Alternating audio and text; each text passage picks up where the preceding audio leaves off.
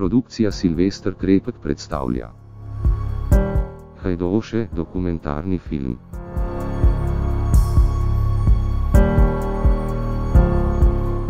Hajdoše so naselje v občini Hajdina. Naselje leži ob regionalni cesti Maribor-Ptuj na ravninskem območju Dravskega polja.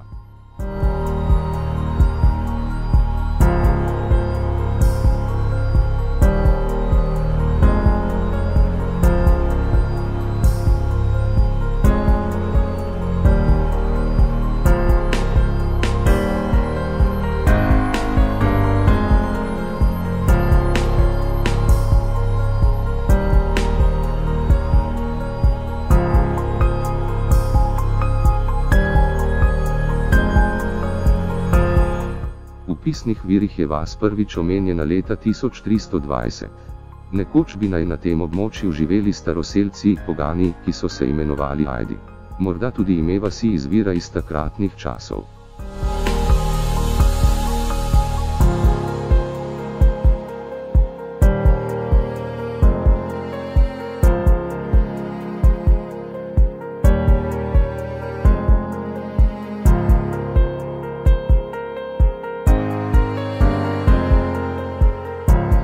Vas je gosto naseljena. V središču vasi stoji vaška kapela, ob kateri je posajena lipa.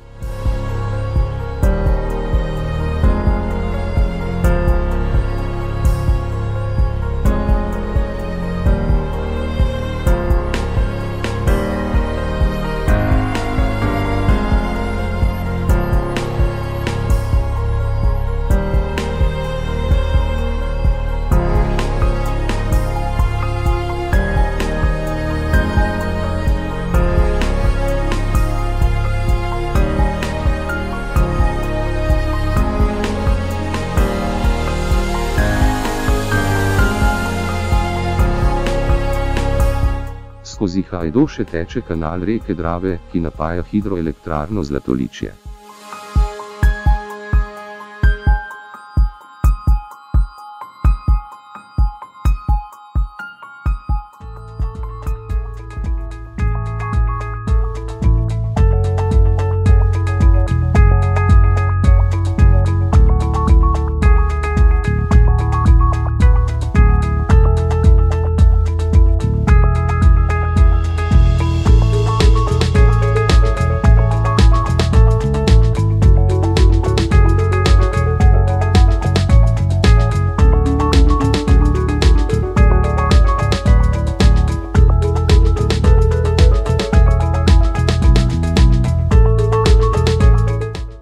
Kanalu reke Drave je lepo urejen športni park s travnatim nogometnim igriščem, atletsko stezo, tribuno za sto gledalcev, reflektorji ter asfaltnim igriščem za mali nogomet in košarko.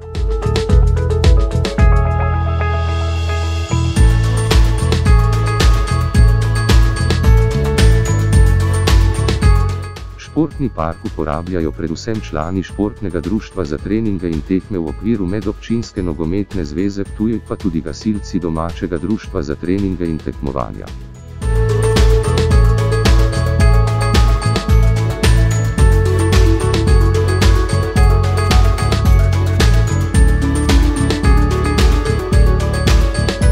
Ob kanalu reke Drave je urejena kolesarska pot, ki je povezana z občino Ptuj.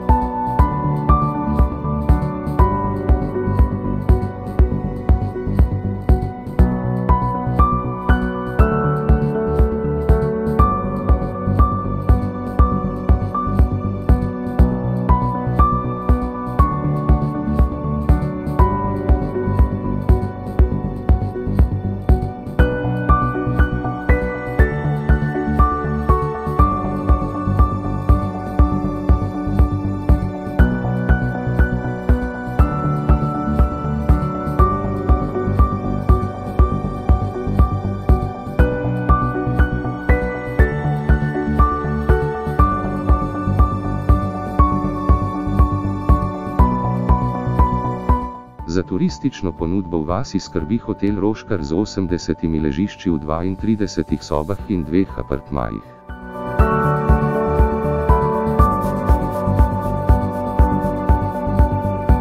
Na koncu Hajdoš se nahaja tudi petrolova bencinska črpalka.